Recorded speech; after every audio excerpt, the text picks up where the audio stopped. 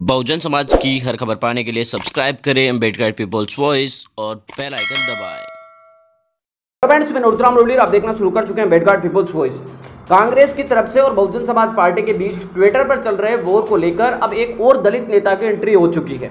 आपको बता दें कि अलका लांबा का समर्थन करने के लिए अब कांग्रेस के नेता उदित राज भी सामने आ चुके हैं। उन्होंने जमकर आपको बता दें कि बीएसपी सुप्रीमो मायावती जी पर तो निशाना साधा और जो अलका लांबा है उसका समर्थन किया। बहुजन समाज पार्टी की सुप्रीमो मायावती जी को लेकर जिस तरीके की टिप्पणी अलका लांबा ने की थी, उसके चलते आपको बता दें कि पूरा का पूरा बहुजन समाज इस वक्त काफ़ी ज़्यादा गुस्से में और इसके चलते आपको बता दें कि लगातार जो बहुजन समाज के लोग हैं, वो लगातार कांग्रेस पार्टी को निशाना पर लिए हुए हैं। इसी बीच देर रात ये ट्विटर पर ट्रेड कर रहा था कि अलका लांबा माफ़ी मांगो के नाम से पूरे ट्विटर पर ट्रेड कर रहा था। उसी समय आपको बता दें कि कांग्रेस के नेता और दलित नेताओं में से मैसूर उदित राज की तरफ़ से एक ट्वीट आया, जो बहुजन समाज पार्टी की सुप्रीमो मायावती जी के खिलाफ था और अलका लांबा के समर्थन में ही माना जाएगा।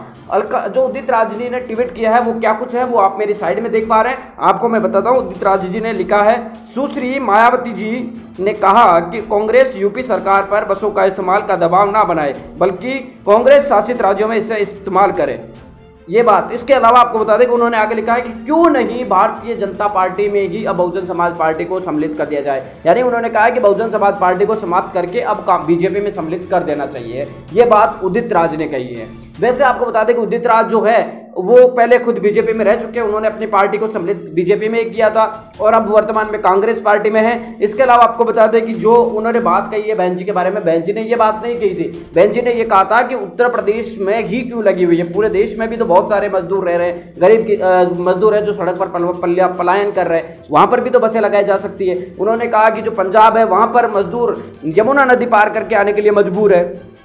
तो क्यों नहीं वहाँ पर? जो यमुना नदी की जगह पर ये लोग है कांग्रेस वाले, वो पंजाब की बस द्वारा बॉर्डर भेजने का काम करे। यानी कि बीएसपी सुप्रीमो मायावती जी के बयान को तोड़ मड़ोड़ कर उदित रात ने पेश किया है। साथ ही उन्होंने अलका लाभा को समर्थन दिया है और इसके अलावा उन्होंने साफ़ तरीके से बहन जी पर भी आरोप लगाते हुए कहा है कि बहुजन समाज पार्टी को समाप्त करके अब बीजेपी में सम्मिलित कर देना चाहिए। मिलेंगे नए वीडियो नए अपडेटों के साथ, तब तक आपसे लेते विदा। लाइक कीजिए कमेंट कीजिए और शेयर करना बिल्कुल ना भूलें।